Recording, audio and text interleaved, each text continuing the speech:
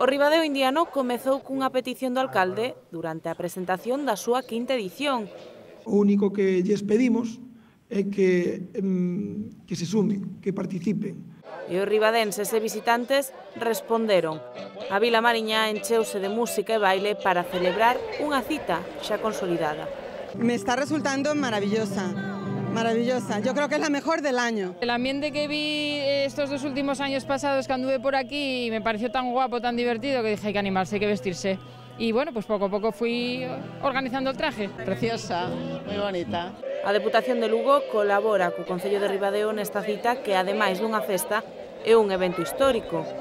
Contribuímos, eh, digo, con 6.000 euros para, para axudarlles. Creo que é o menos que debemos facer, porque isto é unha forma de dar a conocer a provincia. De, de feito, Hoxe vamos a gravar un pequeno spot para levar tamén a Fitur. Un paseo pola historia que invita a festexar, pero tamén a reflexionar, e que este ano estivo dedicado ao Uruguai. Poucos eventos culturais hai polo país adiante que combinen dunha maneira tan importante a festa, o lecer, a troula, o pasalo ben, pero mesturado con charlas, con eventos eh, históricos, con, con unha simbiose perfecta entre un montón de cousas que facer durante unha fin de semana. Que é ese agradecemento a aqueles que, podendo facer fortuna ou riqueza ou xuntar algo noutras terras, o devolveron aquí para que puidesen medrar. Esa é unha cousa que temos que tela sempre, xa, xa que se está falando da memoria histórica, pois hai que tela para todo, non? para isto tamén. Pero o que máis sorprenda que se chegou esta fin de semana son os traxes. Cada uno lo va haciendo casero, lo ves y lo compras o estás todo el año pensando en lo que te vas a poner, porque son tres días. Yo ayer ya me vestí y mañana, si Dios quiere, también. También me voy a vestir.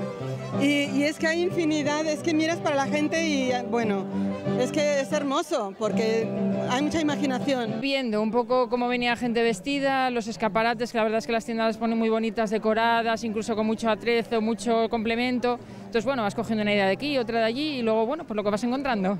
Uy, el ambiente, todo esto blanco, todo blanco, blanco. Que todo el mundo se viste, que, que, es lo que más llama la atención y que está muy animado con la música e las orquestas e se pasa bien. Ademais da xente, o comercio tamén viaxaba no tempo os nosos locales, así, tanto hostelería, comercio como restaurantes, te, ves que ten os locales todos adecuados a esta festa e todos elos están vestidos e adecuados a, a, a, a festa que celebramos.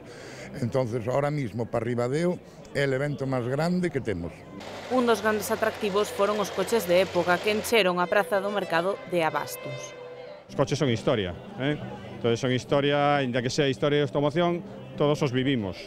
Entonces penso que é moi bonito e que lle dá moita vistosidade, moita vistosidade a isto. E a pregunta, volverás, a resposta era clara. Sí, sí, por supuesto, para el año que viene cambiamos el modelo. Sí, sí, todos los años que pueda, cada año un modelo e a la fiesta. E non é para menos, porque o Ribadeo indiano ten moito futuro. Imagino que todo...